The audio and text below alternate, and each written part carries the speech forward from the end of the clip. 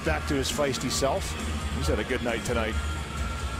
For those just joining us on the NHL Network, this was a 1-1 hockey game in the second period. The Flames scored five unanswered goals in a six-minute and four-second span to blow it open against a team that has given them all sorts of fits over the last number of years. And it was all Ducks early in the second period. They came out, Kesler scored to tie it 1-1, and you were starting to think, this is the Ducks team you're used to seeing. They were forechecking aggressively, they were getting chances. Ooh. and Chiasson a Cramarossa. Off the faceoff, they were going at each other on the wing. I'm surprised the officials didn't step in with how much they were whacking each other with the sticks. So Chiasson takes his helmet off, trying to avoid those left hands. Wow, big right hand by Cramarossa. Second fight for Cramarossa in two games against the Flames. He fought Matthew Tkachuk back on November 15th, not November 15th, the last time they met up, the 6th. Oh,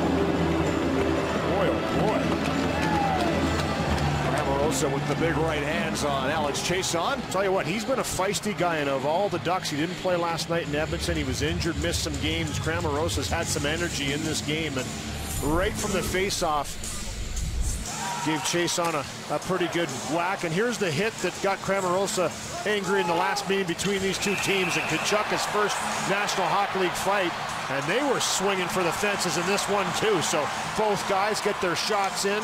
Tkachuk busted up his knuckles afterwards as he comes off, and then off the face-off again. 6-1 the game. They have a little conversation.